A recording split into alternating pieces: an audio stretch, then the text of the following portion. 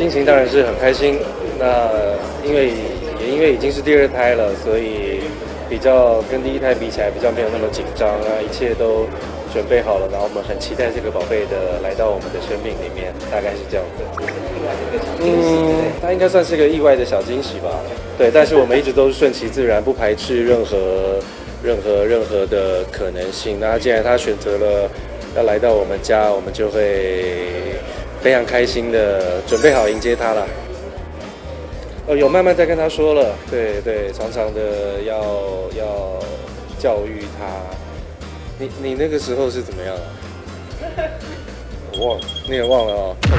对，反正就是要告诉他，慢慢的告诉他，希望他，我只有一个，我只有一个，我才我才是这样。对对对对对，我刚才我你在问啊，我怎么奇怪了？我其实孩子会知道的啊。我只有一个。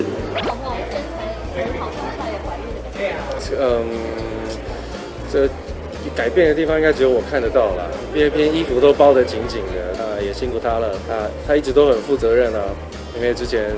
说怀孕的时候，其实还在演唱会的巡回，那也不好不好，因为自己个人的因素而造成整个团队的影响，所以还是好好的把工作做完。那现在已经呃很专心的在待产当中了，对。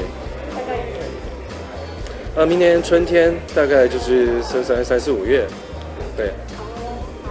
谢谢关心，谢谢你们，谢谢。